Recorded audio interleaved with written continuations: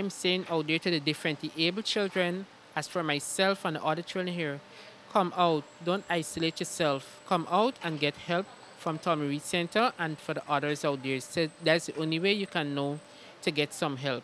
My experience was very emotional and I was inspired a lot and it was very motivation and educated.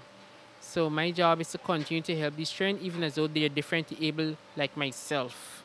One of the policies of this organization that wherever possible we would provide employment for persons with disabilities and first and foremost are the persons who have gone through our program, either you know as students or in the residence or wherever. But I will make it clear that we do not employ them simply because they have a disability. They must be able to provide that service. They must be trained, and that is something we do. The young lady in the kitchen, as the cook maid, she has done the cookery program with the Board of Industrial Training. She's got her certificate. Shishina and Stacy, our typist, uh, no, that she's the typist, the little one. Stacy has probably more CXCs than me, and her English is a lot better. She's brilliant, but the problem was that she was not able to access UG because they don't have the physical infrastructure in place to allow a person in a wheelchair. So um, we have we have the young lady in the laundry. She was trained before she uh, was employed so that she knows how to handle the machines. I think we probably have at least 10 persons. There's Ray, there's two in the school, there's our two down here, that's four. Yeah, probably about 10 persons altogether. And we will continue to do that. I'm very, very pleased at the work of the administrator and the board and the staff here.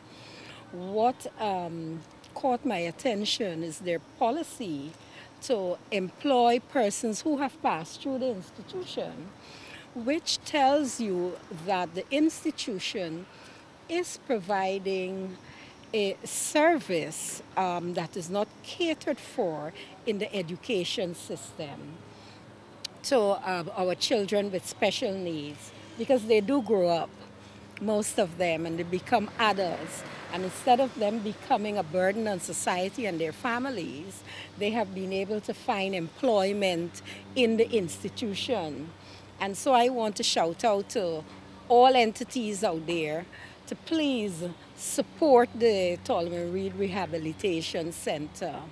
There are some teething issues within the government structure and I have advised management to write me on those issues so that I can address them. Right, Minister, and through your visit, have you identified any ways uh, that you can provide support to them right now before that comes through? Um, certainly, as you know, the ministry is working with the center. Mm -hmm. um, we do have a few persons here from the ministry and what we're going to do is to ensure that the bottlenecks which surrounds those persons that are here, that we clear those out. That, that is um, one of the low-hanging fruits.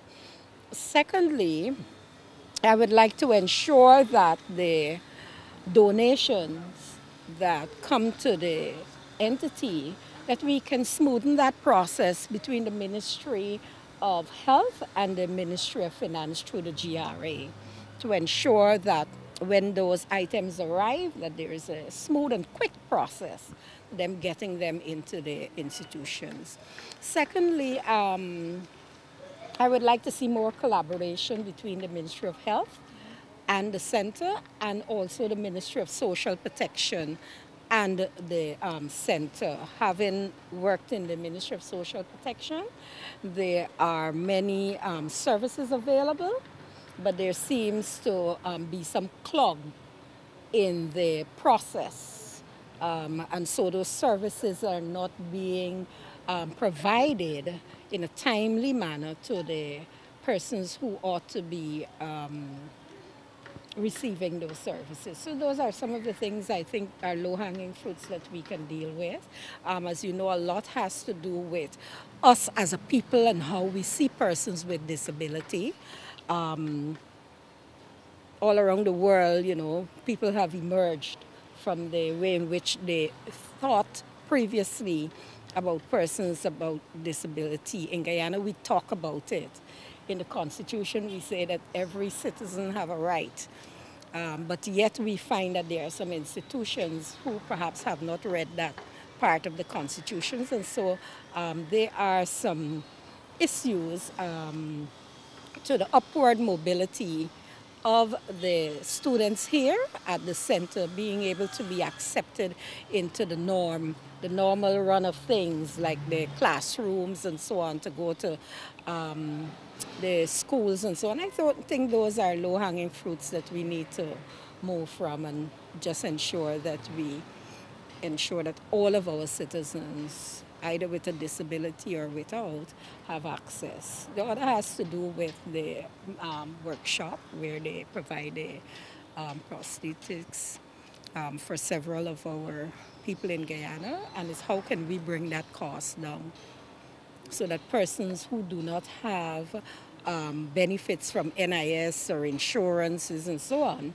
um, how can they too benefit from um, the provision of a prosthetic leg or arm or, or something? And how can we modernize that workshop to ensure that we bring down costs and we increase the value of the product that is being given to our people?